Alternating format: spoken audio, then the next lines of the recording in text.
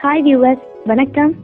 Welcome to Cini Ulagam Tamil சினிமாவில் மட்டும் இல்லை இந்தியா சினிமாக்கள்லேயே இப்போதைக்கு முன்னணி ஹீரோவாக இருக்கிறதுல அஜித்தும் ஒருத்தர் நம்ம தலை அஜித்து நிறைய சூப்பர் ஹிட் ஃபிலிம் எல்லாம் கொடுத்துருக்கிறாரு. ஆனால் நிறைய தயாரிப்பாளர்களுக்கு இயக்குனர்களுக்கு ஜோசியம் பார்க்குற சங்கர நாராயணன் தலை அஜித்து இன்னும் மூணு படத்தில் மட்டும்தான் நடிக்க போறாரு அப்படின்னு ஒரு நியூஸை கிளப்பி விட்டுருக்காரு. அது போக ரெண்டாயிரத்தி பத்தொன்பதுல கண்டிப்பா அஜித் அரசியலுக்குள்ள வந்துருவாரு அப்படின்னு சொல்லியிருக்காரு. ரஜினி கமல் ரெண்டு பேரும் அரசியல்ல இறங்க போறாங்கன்னு ஒரு நியூஸ் வந்துட்டு இருக்க இந்த நிலைமையில. அவங்க ரெண்டு பேரும் அரசியல்ல வந்தா ஜெயிக்கிறதுக்கு வாய்ப்பே இல்லை அப்படின்னு சொல்லியிருக்கிறாரு சங்கர நாராயணன். அது மட்டும் இல்லைங்க அந்த வாய்ப்பு அஜித்துக்கு மட்டுமே சாத்தியம் அப்படின்னு சொல்லியிருக்கிறாரு. ஒரு பேட்டியில நடிகர் எஸ் வி சேகர் கிட்ட ரஜினி கமல் விஜய் அஜித் இந்த நாலு பேர்ல யார் அரசியலுக்கு வந்தா வின் பண்ணுவாங்க?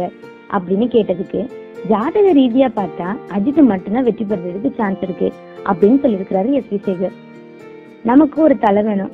அந்த தலை இந்த தலையா கூட இருக்கலாம் அப்படின்னு நம்ம எதிர்பார்க்கலாம். ஆனா அதுக்கு நம்ம தலை ஒத்துப்பாரா? அப்படிங்கிறது அஜித் ஃபேன்ஸ்க்கு எல்லாருக்குமே ஒரு சந்தேகம் தாங்க அடுத்த வீடியோக்கு போறதுக்கு முன்ன எங்களோட இந்த வீடியோ உங்களுக்கு பிடிச்சிருந்துச்சுன்னா லைக் அண்ட் ஷேர் பண்ணுங்க.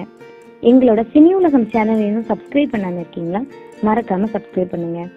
மறந்துடாம பக்கத்துல இருக்கிற பெல் பட்டன் அமைக்கி எங்களோட எல்லா வீடியோஸுமே உடனுக்குடனே தெரிஞ்சுக்கோங்க. தேங்க்யூ